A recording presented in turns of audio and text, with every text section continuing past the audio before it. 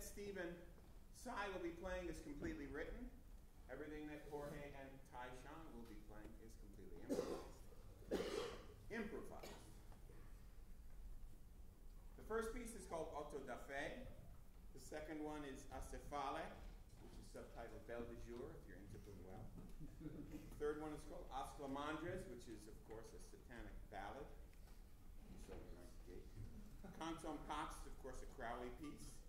Uh, Casting the Runes. Casting the Runes is the newest piece. It'll be the fifth one tonight. And uh, it's part of a series of pieces that I'm working on, a suite of pieces. Um, there'll be five, five, five or six.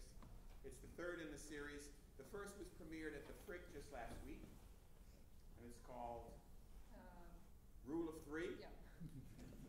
Second one, and, and it's for, what is it for? Uh, cello, flute, and. Exactly.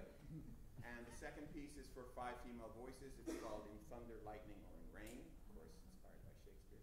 The third, Casting the Runes for this quartet. The fourth is for two trumpets, Peter Evans and some other guy. some poor guy. And, uh, and there'll be a fifth piece, which I'm not quite sure, but I think it's going to be a string quintet with Jack plus Mike Nicolas on cello. So at any rate, Autodaf Fe, Acéphale, Asclamandres, Konx Om Pax, Casting the Runes, and we'll end with Descent into the Maelstrom.